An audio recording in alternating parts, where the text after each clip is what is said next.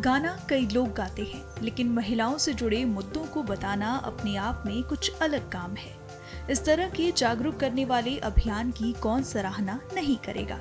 इस बैंड ने कन्याकुमारी से लेकर कश्मीर तक धूम मचा रखी है। अब तक ये बैंड 550 परफॉर्मेंस कर चुका है।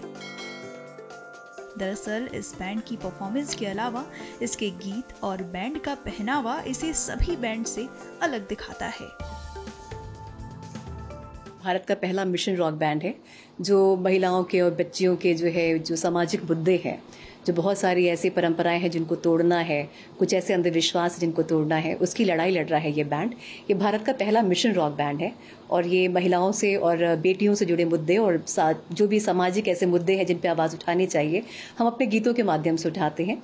2010 से इस यात्रा को शुरू किया है और अभी तक जो है इस यात्रा में हम चलते जा रहे हैं। ये सारे बैंड मेंबर जो है, वो एक एक मज़बूत कड़ी है इस बैंड की और अभी तक तो मुझे लगता है भारत के अलग अलग स्टेट्स में जा कर के हम लोगों ने जो भी साढ़े पाँच सौ शोज़ किए हैं और इवन जो अगर कहा जाए तो भारत के बाहर भी बैंड को रिकग्नाइज किया गया है, हमारे कामों को लोग हमें प्रोत्साहन उनसे मिलता है जब हमें, हमारे काम के लिए प्रशंसा मिलती है और आपके चैनल के माध्यम से हम बहुत लोगों तक पहुँचेंगे और उनका भी अप्रिसिएशन मिलेगा और हमारा हौसला बुलंद होगा। अभी इसमें जो सॉन्ग्स प्ले हुए पर उनकी डिटेल दे सकते हैं, क्योंकि तीन सॉन्ग्स थे, तीनों का क्या मैसेज था सोसाइटी के लिए? जी। ये सारे गीत जो हैं वो एक आम लड़की, एक आम महिला, जो भी समाज में पूरे दिन में दिनचर्या हो, जो उसकी, जो उसमें झेलती है, जो जिनसे जूझती है, जिनसे लड़ाई लड़ती है, जो उसके, और एक, हर एक लड़की, हर एक महिला से जुड़ा हुआ, हर एक गीत होता है।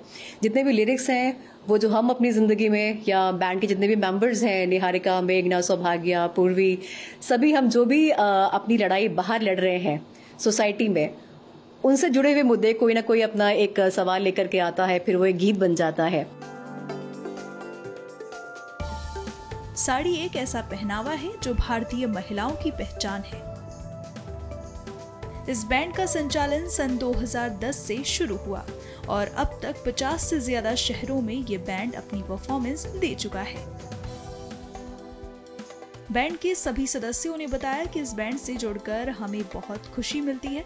क्योंकि इस बैंड में रहकर हमें समाज और महिलाओं से जुड़े मुद्दों पर परफॉर्म करने का मौका मिलता है। मेरी ज़िंदगी फीमेल रॉक बैंड जो कि सिर्फ़ एक रॉक बैंड नहीं है, बल्कि एक मिशन रॉक बैंड है। और हम ये मानते हैं, बड़े गर्व के साथ कहते हैं कि ये भारत का पहला ऐसा अपने आप में अनोखा बैंड है, जिससे मैं सन 2015 से जुड़ी।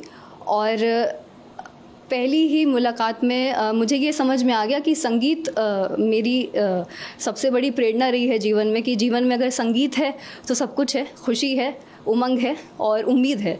तो वो उम्मीद ये बैंड हमें देता है, हम मेंबर्स को देता है और हमारे हर सुनने वाले को देता है। तो ये जो अनुभव है हमारा 2015 से मैं जब से जुड़ी हूँ जया मैम के साथ में, हमारे बैंड के सभी मेंबरान के साथ में तो वो बहुत ही अनोखा अनुभव रहा है और बहुत कुछ ऐसा हमने देखा है, लोगों से सुना है, जब हम बैंड में परफॉर्म करते हैं। तो लगता है कि एक अच्छा काम करने के लिए अगर संगीत एक बहुत बड़ा हथियार हो सकता है, जैसे कि बहुत बड़े कवियों ने बहुत सारी ऐसी कविताएँ लिखी और अलग जगाई लोगों के मन में तो संगीत से एक ज्योत तो जलाई ही जा सकती है। बैंड में जो मेरी शुरुआत हुई थी, वो चिमटे से हुई थी और आज मैं सिंथेसाइज़र प्ले करती हूँ तो आप ये खुद देख सकते हैं कि हम भी बहुत सारे चीज़ों में आगे बढ़ते हैं इस मेरी ज़िंदगी के बैंड से। अपने आप में भी बहुत पॉजिटिव चेंज लेकर आते हैं तो हमारे लिए बैंड बहुत ज़्यादा खास है।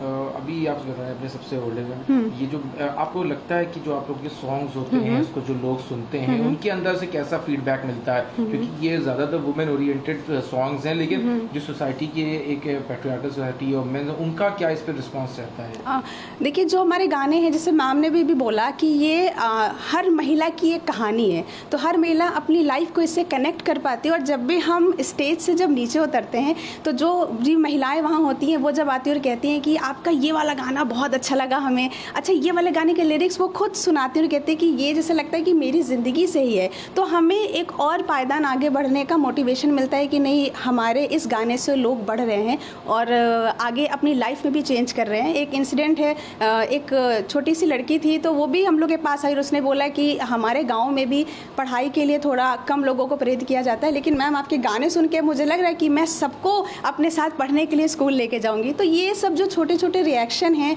कुछ लोग बहुत भावुक हो जाते हैं गाना सुन के तो ये रिएक्शन हमें अपने मंजिल की ओर और, और आगे बढ़ाते हैं।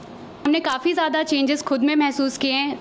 सोसाइटी सोसाइटी में तो हम चेंजेस ला ही रहे हैं बट क्योंकि बहुत सारे ऐसे मुद्दे होते हैं, बहुत सारी ऐसी चीज़ें होती हैं तो जो सबने डिफरेंटली फेस की होती हैं, वो हम सब आपस में बांटते हैं शेयर करते हैं, कुछ सीखते हैं उससे, और उन्हें ही अपने गानों में उतारते हैं तो बहुत सी चीज़ें हैं जो बदलाव खुद में महसूस किया है पॉजिटिविटी इतना कॉन्फिडेंस गलत चीज़ों के लिए आवाज़ उठाना तो ये सब डेफिनेटली कुछ चेंजेस हैं जो हम सब में आए हैं इतने टाइम में।